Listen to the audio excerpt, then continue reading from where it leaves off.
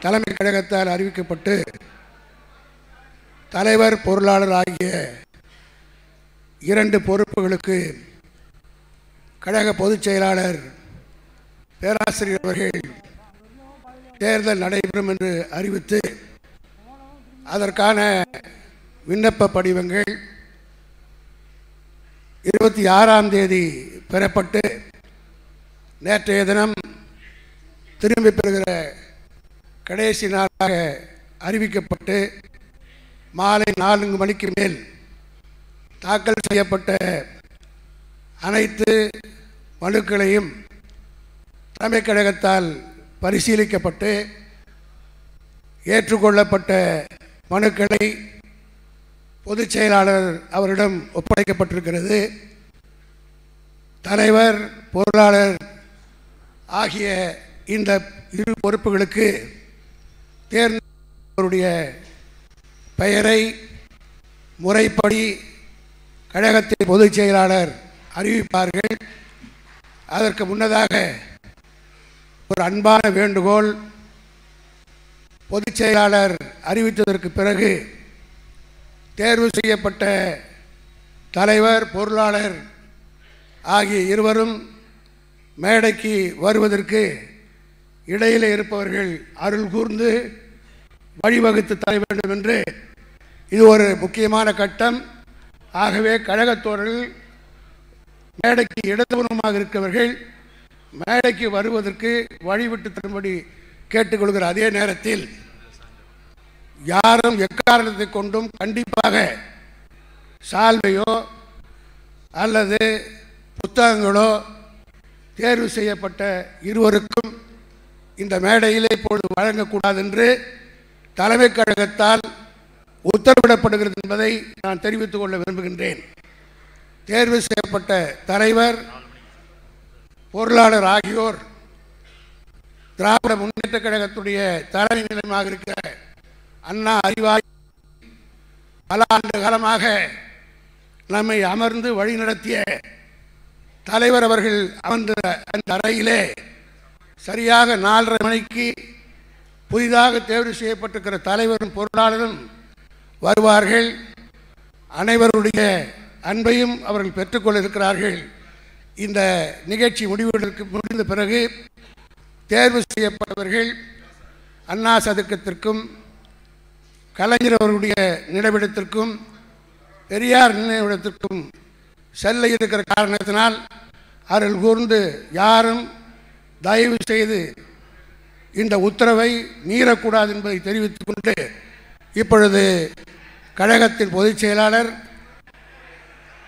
அவர்கள் வந்து அமைதியாக இருக்கும்படி கேட்டுக்கிறேன் ஏன்னா பேராசிரியர் படிக்கணும். பேராசிரியர் படிப்பது நீங்கள் கேட்க வேண்டும். இது வரலாற்றிலே ஒரு மிக முக்கியமான நிகழ்வு.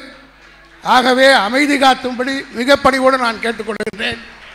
இப்பொழுது பொதுச் செயலாளர் பேராசிரியர் அவர்கள் தேர்வு செய்யப்பட்ட தலைவர் பொருளாளருடைய பெயர்களை அறிவிப்பார்கள்.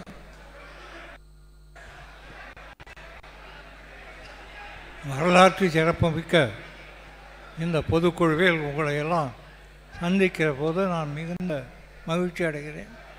இந்த பொதுக்குழுவில் நம்முடைய கலைஞருடைய மகன் அதனுடைய தலைவராக வர வேண்டும் என்ற நோக்கத்தோடு தீட்டப்பட்டிருக்கிற இந்த தீர்மானம் உங்களுடைய கருத்துக்கு விடப்படுகிறது கலைஞர் அவர்களின் மகன் திரு ஸ்டாலின் அவரின் நிலைகளுக்கெல்லாம் அப்பாற்பட்டு தனது இளம் கழகத்தின் செயல்பாடுகளில் முழுமையாக ஈடுபட்டு இந்திய நாடெங்கும் நெருக்கடி நிலை அறிவிக்கப்பட்டு ஓராண்டுக்கு மேல் திரைக்கோட்டத்தில் திரைக்கோட்டத்தில் சுழனா துயரங்களை அனுபவித்து பின்னர் அரசியல் வாழ்வில் சென்னை மேயராக அமைச்சராக துணை முதல்வராக பல்வேறு நிலைகளை கடந்து கடந்து வந்த நிலையில் திராவிட முன்னேற்ற கழகத்தின் தலைவராக தேர்ந்தெடுக்கப்பட்டமைக்காக எனது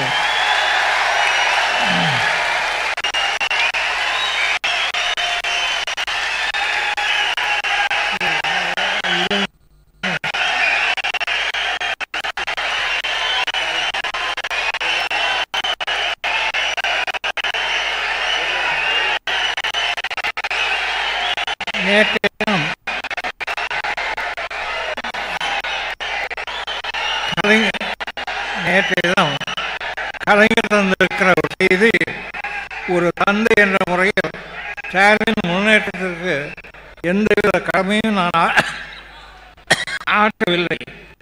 ஆனால் ஒரு மகன் என்ற முறையில் தனது கடமைகளை தலைவார ஆற்றி என்னை பெருமைப்பட வைத்திருக்கிறார் ஸ்டாலின். இப்படி ஒரு மகன் கிடைக்க பெற்றதற்காக நான் மிகவும் பெருமைப்படுகிறேன். இந்த கருத்தை சொல்லி ஸ்டாலின் அவர்களை கழக தலைவர் பொறுப்புக்கு மு. க. ஸ்டாலின் அவர்களது மனு மட்டுமே தாக்கல் செய்யப்பட்டுள்ளது. அம்மனியில் ஆயிரத்தி முந்நூற்றி ஏழு பேர் ஏ- ஏழு பேர் முன்மொழிந்தும் வழிமொழிந்தும் உள்ளனர். தலைவர் பொறுப்புக்கு மு. க. ஸ்டாலின் தவிர அவரை தவிர வேறு யாரும் போட்டியிடாததால் மு. க. ஸ்டாலின் அவர்களே கழகத்தின்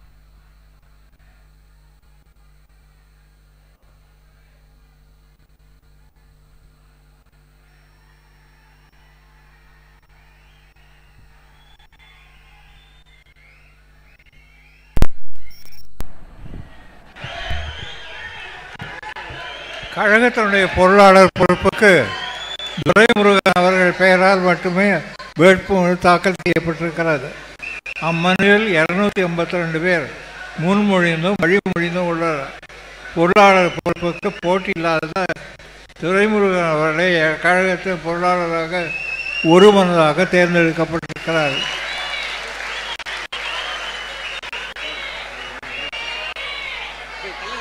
Yeah. Нима.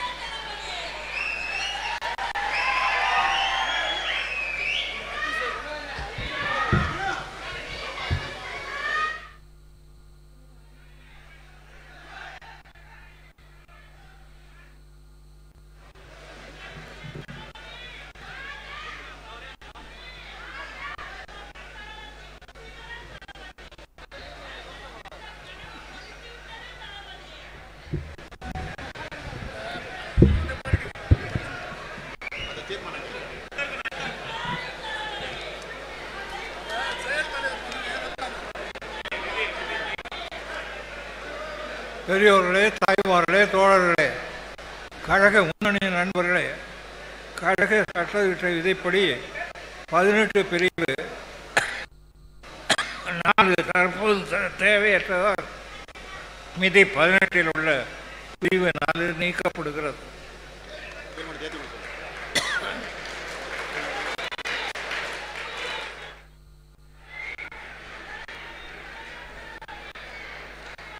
தீர்மானம் பண்ணுங்களா தீர்மானம்.